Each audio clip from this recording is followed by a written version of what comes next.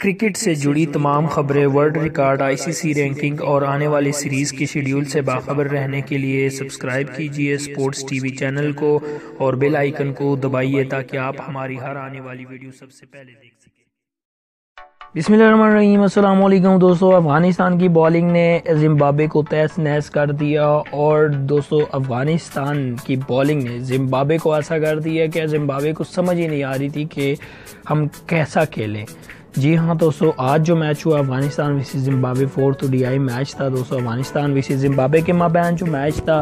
دوستو، اب زمبابے ٹاس جیت کر پہلے بیٹنگ کرتے ہوئے اٹھتیس رنز سوری اٹھتیس اوور میں ایک سو چونتیس ہی رنز بنا سکی دس وکٹوں کے نقصان پر۔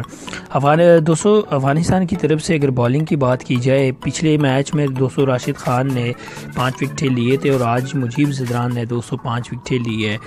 دس اوور میں پچاس رن دے کر پانچ وکٹیں اور محمد نبی اور راشد خان دو وکٹیں اور شرف الدین اشرف ایک وکٹ لینے میں کامیاب رہے۔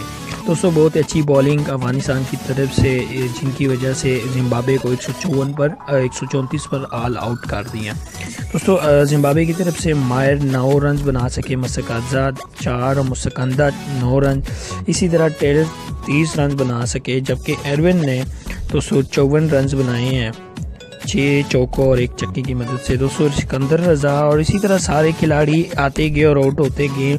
یہ جو ہے نا میجک بالنگ تھی مجیب زدران کی طرف سے، جو جنہوں نے پانچ وکٹیں لے لی ہے اور دوستو، بہت ہی اچھی پرفارمنس افغانستان کی طرف سے ملی اور بہت ہی کم ٹارگٹ ہے اور یقیناً افغانستان یہ ٹارگٹ کچھ تیس اوور کے درمیان پورا کر سکے گا۔ تو دوستو، اگر بات کی جائے آج کے میچ کی، افغانستان کے لیے فائنل ہے اور زمبابے کے لیے سیمی فائنل ہے۔ اگر زمبابے جیت جاتا ہے تو پھر فائنل یعنی کہ پانچواں میچ یہ ہوگا کہ وہ یعنی کہ سیریز دو دو سے برابر ہو جائے گا۔ اگر آج کا میچ زمبابے جیت جاتا ہے، اگر افغان جی، افغانستان جیت جاتا ہے دوستو، تو پھر یہ ہوگا کہ افغانستان سیریز جیت جائے گا اور زمبابے یعنی کہ پویلین لوٹ جائے گا۔ اور اسی طرح دوستو، اگر پانچواں میں، پانچویں میچ کی بات کی جائے تو دوستو، پانچواں میچ بھی افغانستان کو جیتنا ضروری ہے۔ اگر دسویں مقام پر رہنا چاہتا ہے تو تو بہت ہی اچھی خبر ہے افغانستان کرکٹ فینس کے لیے کہ افغانستان کی بالنگ بہت اچھی رہی ہے اور ایسے ہی اچھی رہے کیونکہ بہت ہی یعنی کہ ایسی ٹیم ہے جو کرکٹ کی دنیا میں ابھر کر آ رہی ہے جنہوں نے بڑے بڑے ٹیموں کو پریشان کر کے رکھا ہے۔